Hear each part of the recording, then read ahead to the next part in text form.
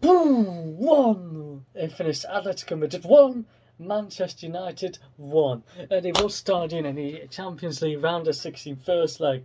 Hello guys, it's Lemed. It's just finished 1 1 in the game in the Wolf Stadion, Atletico Madrid. Absolutely, oh, it's kind of a bit of that game today, so to be honest. But that game was absolutely crazy. Is it as what you were expected of starting? Because you know what Simeone's like and what Rangnick is like. So basically, it's kind of equal game. And to be honest, a draw of all stadiums, Old Trafford's not bad because it can give us faith. So when we go to Old Trafford and beat the net, because I think we will, because England fans always offer in the second leg and their own advantage as well. But I know I know we're not good Old Trafford, but your team will be like in European nights Old Trafford. Basically like European nights at the Anfield half of the time.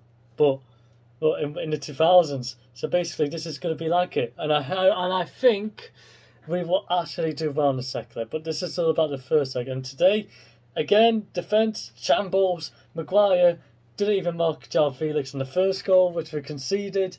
Absolutely embarrassing to watch, but to be honest, a good goal. Trying to beat uh, Dom, Dom Tracy. If you don't know Dom Tracy, he's American YouTube. He looks like Dom Tracy, João Felix. And then and then we actually played well afterwards, sec- second half. And then Anthony Elanga, oh my god, what a goal that was.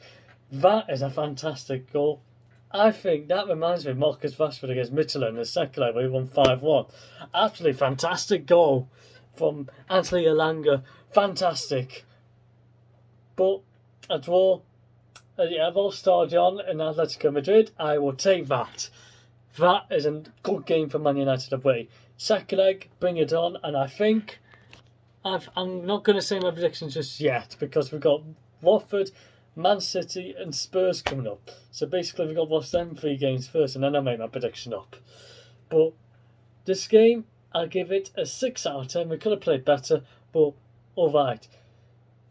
But we did still play a bit badly. It was a bit like Leeds, but to be honest, a bit more alright.